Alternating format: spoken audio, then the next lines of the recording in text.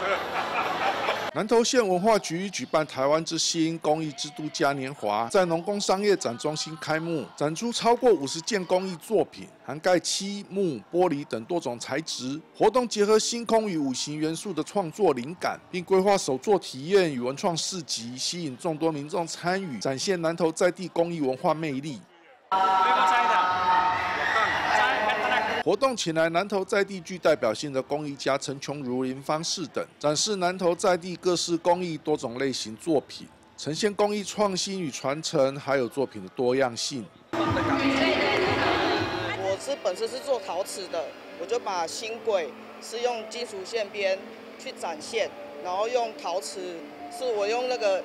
陶瓷球，然后代表是星星的意思，然后这是星星星绕绕着星轨在走。那我这个主题是，呃，表现那种宇宙的那个极光的一个一个意象的效果，是表现那种七彩的那种极光的一个琉璃的一个项链为主，好。是手工的，像六百八。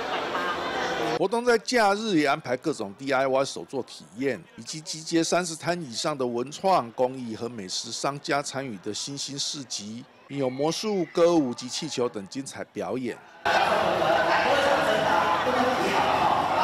我们南州县的公益发展啊，非常悠久的呃历史，那有培养出很多的公益家，并且有全国十五个公益的场所推出总共五十件展品，啊，利用这个公益的推展，我们也希望啊这个来带动。地方的产业的发展，县府希望透过这次嘉年华活动，让民众更关注地方公益文化，以促进地方文化产业及经济活动的发展。人间新闻李明宏南投采访报道。